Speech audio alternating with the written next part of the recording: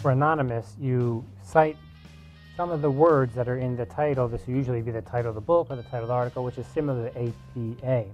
Remember, use quotation marks around something that is part of something bigger. So a chapter, use quotation marks, but a book in a chapter, the book uses underline or italics.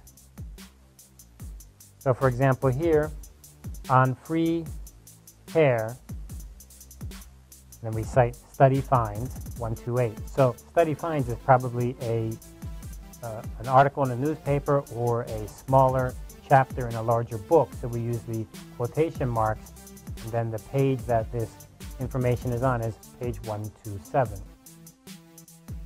The book College Bound Seniors, and here we have a book, so the book uses italics, that is writing at the angle. And the pages we're looking at are 132 to 133.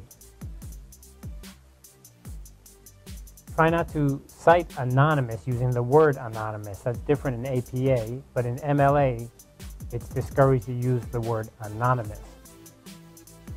Books and reports are italicized or underlined, as we just said. Let's look at another example here. Reading at Risk, a survey of literary reading and in America.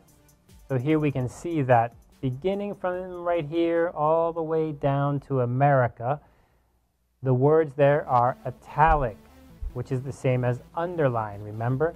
And that means that's the title of something larger like a book.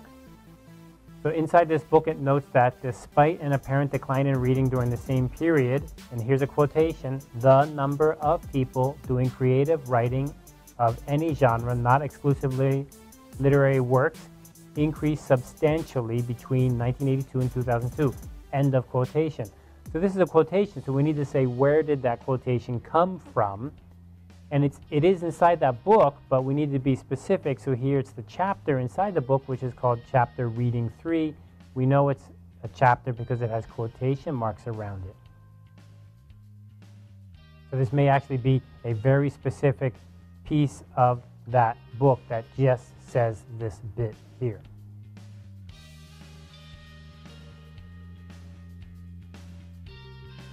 Psychological issues have been cited as a major source of societal cost. The Price of Insanity, 56. So page 56, and a chapter or a part of something bigger, chapter of a book maybe, or an article inside of something bigger.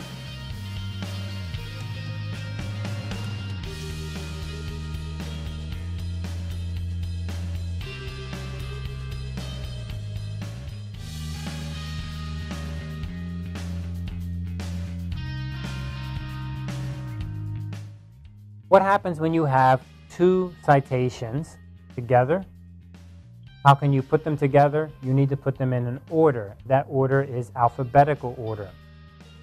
If you have multiple authors and you just use their name, what if you have the same author but different papers in different years? Let me go over that again. One case is you have an idea, you write the idea, and this idea is not one person's idea, but many other people have researched this. So you've taken it from multiple papers, so you have multiple different authors from different papers. How do you put them together? By alphabetical order of the first author's name. Right?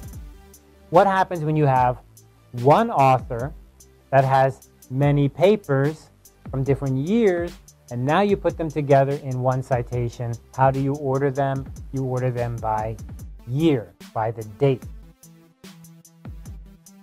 Let's take a look at an example.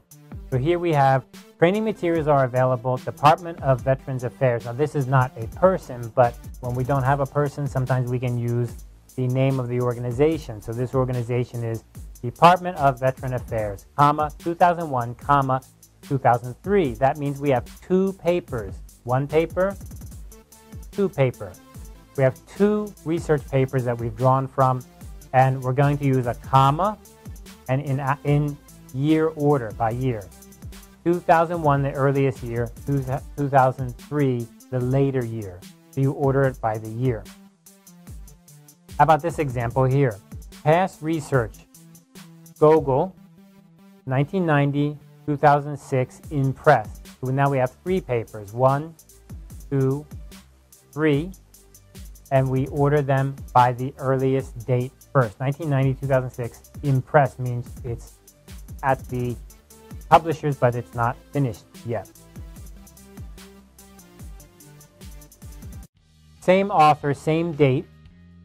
What are we going to do then? This has actually happened sometimes.